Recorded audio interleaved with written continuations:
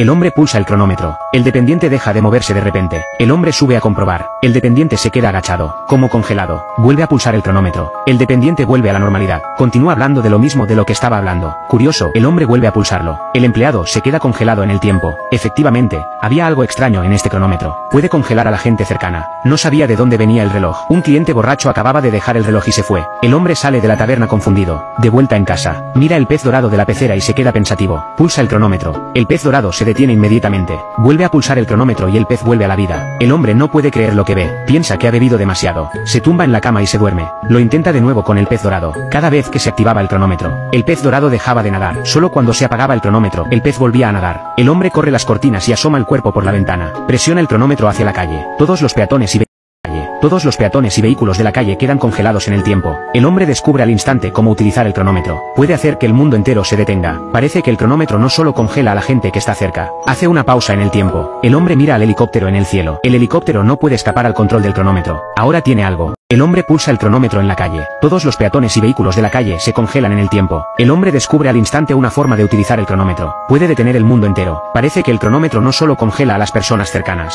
Hace una pausa en el tiempo. El hombre mira al helicóptero en el cielo. El helicóptero no puede escapar al control del cronómetro. Ahora ha encontrado un tesoro. El hombre va a la taberna, triunfante. Le dice a la multitud que ha encontrado un tesoro. Este reloj puede detener el tiempo. Todos piensan que el hombre ha bebido demasiado. Nadie prestó atención a este borracho. Como no me creéis, os lo demostraré. El hombre pulsa el cronómetro y el tiempo se suspende. Todo el mundo queda inmovilizado. Le despeina el pelo a un cliente. Vuelve a la mesa y se bebe todo el vino de la mesa. Pulsa el cronómetro y el tiempo se reanuda. La multitud continúa con lo que acaba de hacer, como si nada hubiera pasado. El hombre dice emocionado. Ahora lo sabes, ¿verdad? Uno de los invitados pregunta, ¿qué habéis averiguado? El hombre dice, ¿averiguaste que el tiempo se ha suspendido? Ya nadie quiere oír a este psicópata inventarse cosas. Todos piensan que el hombre es un aguafiestas. Todos se levantan y se van. El empleado de la taberna se ya nadie quiere oír a este psicópata inventarse cosas. Todos piensan que el hombre es un aguafiestas. Todos se levantan y se van. El empleado de la taberna se queja al hombre. Cada vez que entras, siempre estropeas el negocio de la tienda. Eres un verdadero grano en el culo. El hombre estaba a punto de explicar. De repente se da cuenta de que si el tiempo se suspende, solo él puede sentirlo. Nadie más podría detectarlo. Pide una cerveza. El dependiente sigue parloteando y quejándose. Se da la vuelta y mete el dinero en la caja. El hombre mira el dinero en la mano del otro hombre.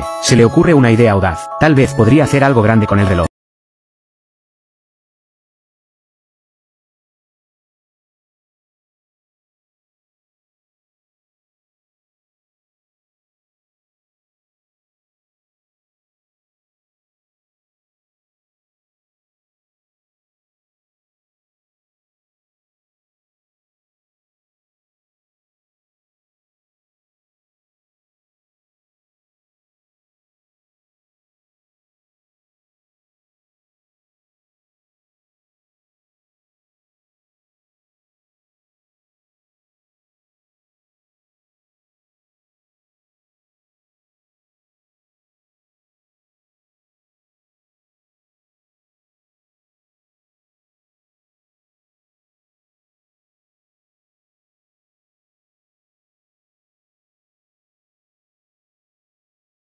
De moverse. El hombre entra en pánico, corre fuera del banco, toda la calle está paralizada. Vuelve a pulsar el cronómetro, pero sigue sin haber respuesta. El hombre corre de nuevo al bar. Dentro, la situación es la misma. El hombre intenta desesperadamente despertar a la gente, pero nadie responde. Ahora no tiene que pensar en robar dinero. Todo en el mundo es suyo. El hombre con sueños de riquezas se ha convertido en el hombre más solitario de la tierra.